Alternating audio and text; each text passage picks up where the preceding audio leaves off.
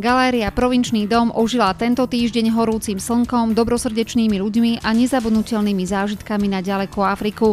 A to vďaka viac ako 70 záberov od tunajšieho fotografa Michala Petriláka. Jeho snímky a 45-minútovú prezentáciu z minuloročnej dvojtýžňovej africkej misie môžu návštevníci galérie vzliadnúť do konca júna. V rámci výstavy Spomienky na Afriku sa tak na chvíľu môžete preniesť do oblasti Národného parku Masai Mara, vidieť krásne Kilimanjaro či spoznať život Masajov.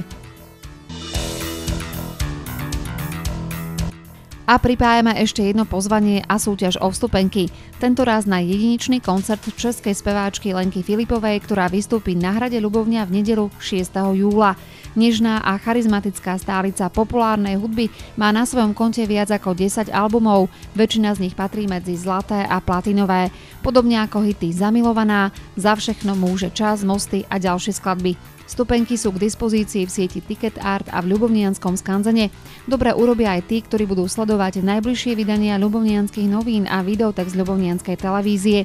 Jedna správna odpoveď na otázku a vstupenka na neopakovateľné koncertíno Lenky Filipovej môže byť vaša.